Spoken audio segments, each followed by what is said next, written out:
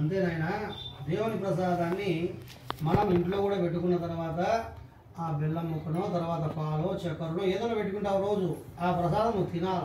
నువ్వు తినకుండా పారేసే స్థితిలో ఉంటే ఆ ప్రసాదం వల్ల మనం అనేక ఇబ్బందులు పడతాము. కాబట్టి అన్నం పెట్టింటాం తర్వాత బెల్లం పొంగలి పెడతా ఉంటాం పండగలప్పుడు. ఇవన్నీ కూడా ఎట్లుండాలా దాన్ని? నువ్వు తప్పకుండా తినాలా. భోజనం సమయంలో అన్నా తినాలా. భోజనంలో కలిపేయాలా. ఆ ఆహారాన్ని తినాలి స్వామి దగ్గర వదిలిపెట్టాడు. తినకుండా ఆ ప్రసాదాన్ని పారేస్తే ఆ స్వామి వాళ్ళు ఏమనుకుంటారు? ఇంత పూజ చేసి నా ప్రసాదం తినప్పుడు ఎందుకు వీనికి ఈ యొక్క అర్హత? అని తీసేస్తాడు నాయన అని చెప్పినాడు. దీనికి ఉదాహరణగా ఒక కథ చెప్పినాడు.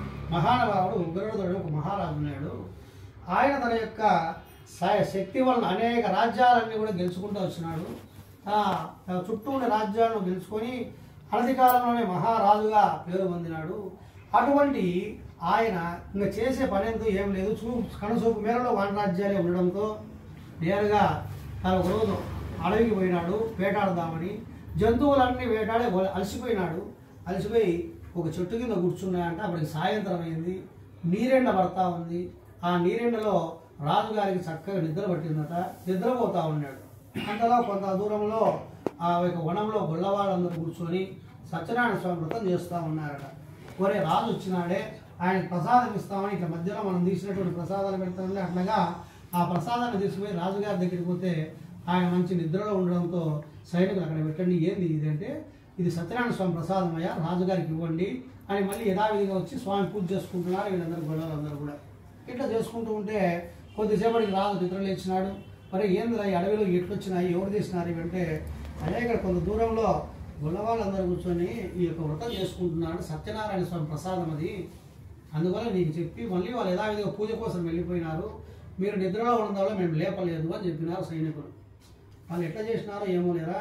మనకి ఎందుకు వచ్చిన కూడా వాడు భారేయండి అని చెప్పి ఆ ప్రసాదాన్ని ఇక్కడ పారేసి పొలలిచ్చినారు నీచముగా భావించిన రాజు ఆ ప్రసాదాలు ఎదురకుండా ఇంటికి వెళ్ళిపోయాడు రాజ్యానికి.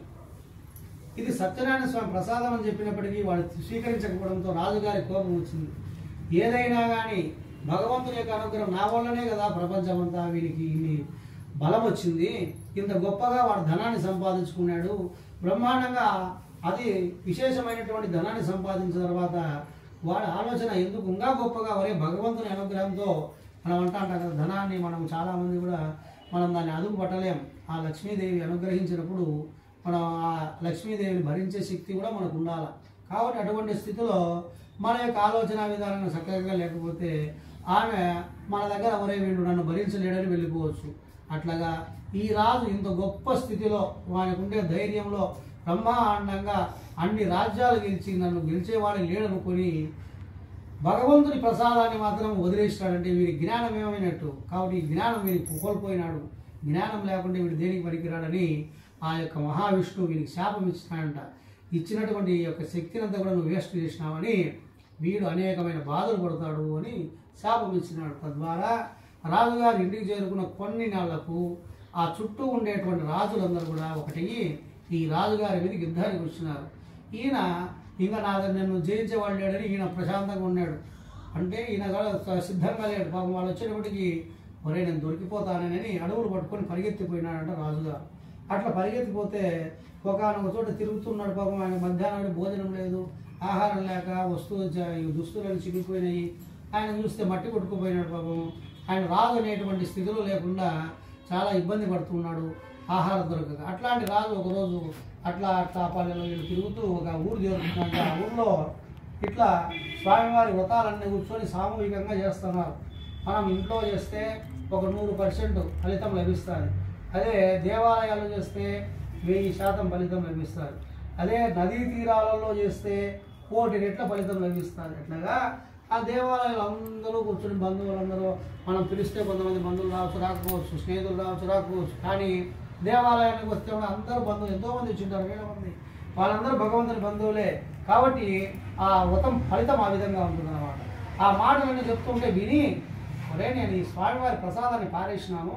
ఆ ఫలితం నాకు ఈరోజు ఈ విధంగా కొట్టింది అని భావన చేసి అప్పటి నుంచి వాడు చేతులకి నమస్కారం చేసుకునే శక్తి లేకుండా స్వామి నన్ను కాపాడు అని ఆ వ్రతం అయిపోయిన తర్వాత అందరికి భోజనాలు పెడుతూ ఈ రాజుకు భోజనం పెడితే ఈయన గబగబా ఎప్పుడు దొరకలేక చాలా రోజులు అన్నం లేదు కాబట్టి గబగబా తింటుంటే ఏమైనా నిదానం తిను ఏమిటా అన్నం లేనట్టు ఎప్పుడు తిన్నట్టున్నావే అని అన్నారు. అంటే మనం చెప్తానని సైగ చేసి ఫోన్ చేసి ఆయన కుదుట పడినాక నాయన ఈ రాజ్యాన్ని ఏలిన రాజు నేను. ఆ స్వామి మీరు ఎంతసేపు పూజ చేసినారు సత్యనారాయణ స్వామి వ్రతం చేసినారు. ఆ వ్రత ప్రసాదాన్ని కొంతమంది తీసుకొని వచ్చి నాకు ఇస్తే ఆ వనంలో నేను ఆ ప్రసాదాన్ని పాలేసి వెళ్ళిపోయినాను ఆ పాలేసిన ఫలితం ఈరోజు నేను అనుభవిస్తున్నాను.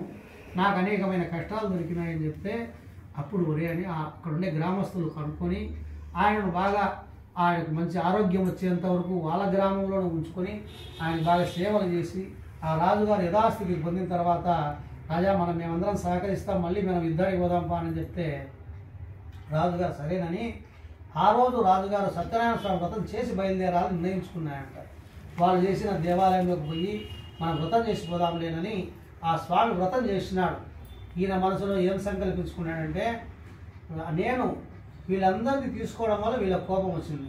క్రోధాత్ భవతి సమ్మోహ. సమ్మోహాత్ స్మృతి విభ్రమ. స్మృతి భ్రంశాత్ బుద్ధినాశో. బుద్ధినాశాత్ ప్రణశ్యతి. నేను వాళ్ళ మీద జొరబడి ఆ రాజ్యాలను ఓడించి తీసుకున్నాను నన్ను ఓడించి మళ్ళీ వాళ్ళు గుంజుకున్నారు. కాబట్టి ఇదంతా కూడా నీ మాయ మాత్రమే. కాబట్టి ఈ రాజ్యం ఉండడం ఈ రాజ్యం పోవడము అనేటటువంటిది నీ యొక్క శక్తే. అయితే నన్ను రాజు అంటున్నారు. రాజు రాజ్యం ఉంటేనే కదా అందం. కాబట్టి మహానుభావ నాకు ఒక రాజ్యం ఇవి నేను లక్షణంగా రాజ్యం చేసుకొని ఎవరి జోలికి పోకుండా నీ కీర్తన చేసుకుంటూ నీ యొక్క భక్తిని ప్రపంచమంతా చాటుకుంటూ నా జీవితం గడుపుతా. రాజు నాకు రాజ్యం ఉండాలి కాబట్టి నాకు అనుగ్రహించు అని మాత్రమే కోరుకున్నాడు. అందువల్ల దీన్ని బట్టి మనకేం తెలుస్తుంది? వ్రతాలు నోములు పూజలు ఏం చేసినా ఒక మార్గం చెప్పి ఉంటుంది. నన్ను ఉద్ధరించు. నాకు పెద్దగా నువ్వు అనుగ్రహించాల్సిన అవసరం నా స్థాయిని బట్టి నేను బాగా బతికేదానికి అవకాశం ఇవ్వు అని స్వామిని ప్రార్థన మనం కూడా చేయాలి.